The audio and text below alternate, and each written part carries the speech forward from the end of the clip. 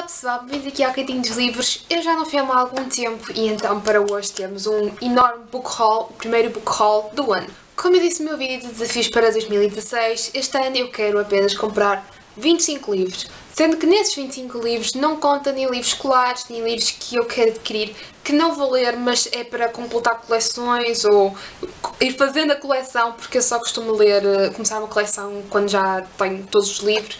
E então, um, isso está a acontecer, só que já está a acumular um bocadinho. Eu tenho aqui já um bom par de livros e no total, desde quando começou, já comprei 10 livros. Ou seja, estamos em praticamente abril, ainda não passou metade do ano e já comprei quase metade dos livros que posso comprar. Ah, eu comecei o ano com 53 livros na TBR, o que me interessa é que termine com menos de 53 livros na TBR mas vamos tentar fazer isso dos 25 livros. De qualquer forma, vou agora então mostrar-vos os livros que tenho por aqui, porque alguns foram oferta, outros foram enviados pela Chiada Editora, outros até foram encomendas que eu fiz do ano passado e só chegaram em janeiro. Bora lá. A faculdade, ou seja, estes dois não contam. Tive que comprar Voisek de Buchner, yeah, Buchner, que é uma, ui, que é uma peça de teatro extremamente pequenina, só tem 50 páginas, penso eu, e eu não faço também sobre o que é que porque lá está faculdade.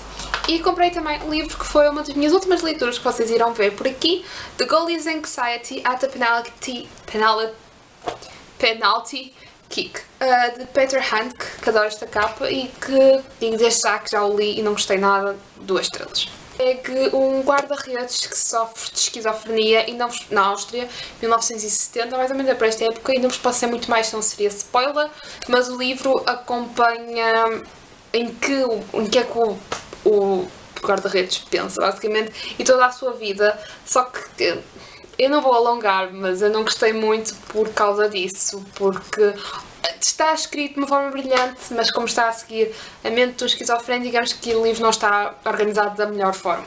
A editora enviou estes dois livros, que foram dois que eu pedi para um sorteio, e eu gostei tanto deles, apesar de não os ter lido, fiquei tão curiosa que pedi iguais para mim, sendo que é Jonas Vai Morrer, de Edson Ataíde, que não faço a mim sobre o que é a história, e Em Busca dos Borboletas, primeiro volume, que já vai na segunda edição, de Margarida Pizarro, que quero ler o quanto antes, não sei se conseguirei em abril, mas no Frio Abril será em maio de certeza, não quero guardar este livro para, o inverno, porque ele tem mesmo ar de primaverazinha. Livros que comprei na Bertrand desde quando começou. Comprei, uh, ok, dois destes aqui, não gastei dinheiro nenhum, portanto, apesar de ter contabilizado, foi yes, foi muito bom, porque foram com pontos. Uh, são os dois simples, são Pocketbook da 1117 da editora e então Bala Santa de Luís Miguel Rocha. Eu não faço a mínima sobre o que é a história também. Eu comprei este porque nunca tinha visto um livro de Miguel, Luís Miguel Rocha assim em versão pocket e eu não sei porquê, mas achei que devia de ter um livro do primeiro escritor português no top do New York Times e um, aborda religião e também policiais. Parece um bocadinho Gun Brown, tipo Anjos e Demónios e achei que seria assim uma boa aquisição para eu ler no verão. Adoro ler este livro, género de livros na praia, mas também gosto de ler tudo na praia.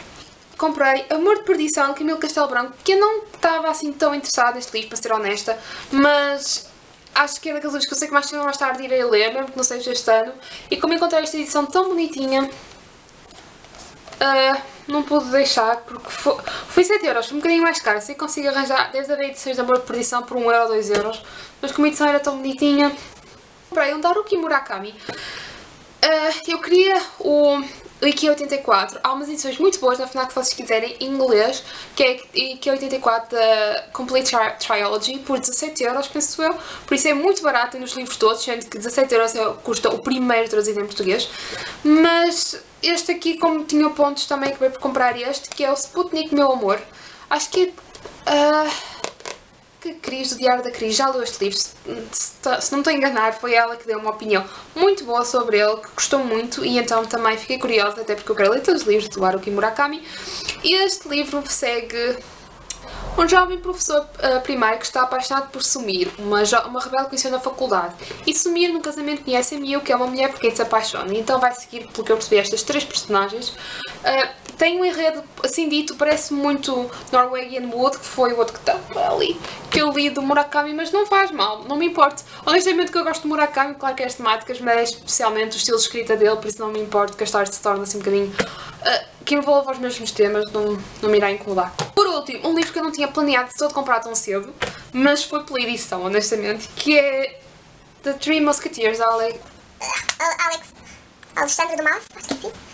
É da Canterbury Classics, penso eu. Vou verificar. Canterbury. Canter. Ai, eu estou gaga. Canterbury Classics. E basicamente tem um toque, não vos consigo explicar isto, não faço a mínima qual é o material, mas tem um toque completamente diferente e está gravada uh, frases ditas aqui na capa. E aqui atrás está a sinopse e depois por dentro tem este padrão lindo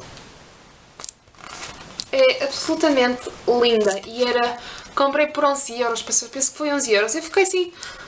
Aliás, eram 11 euros, mas nem ficou por 11 euros. Portanto, este como aquele comprei com pontos. Os dois livros devem ter custado tipo 13 euros. E. Um, mas achei uma edição tão bonita, para o preço que era, em termos de preço e qualidade, tão barata, que não pôde ficar lá. Livros comprados em 2016. Comprei dois livros de arte eu gosto muito de ler livros de, de, arte com ilustrações e a história de vida dos autores e tudo mais, então, dos autores, dos pintores e tudo mais, então comprei um de Mondrian. Estes livros costumam ser 3 euros, 5 euros, por aí. E um de Dürer, penso que é assim que se diz. Pronto. Eu, este aqui comprei porque... Porque Comprei? Este, era este que eu queria, de Mondrian. Mas eu acho que comprei este porque hum, aquilo só aceitava mínimo de 6 euros, eh, de 5 euros para o multibanco, não tinha lá dinheiro e então como, yeah, como cada um foi 3 euros eu comprei e assim dava 6 euros e podia usar o multibanco. Yep.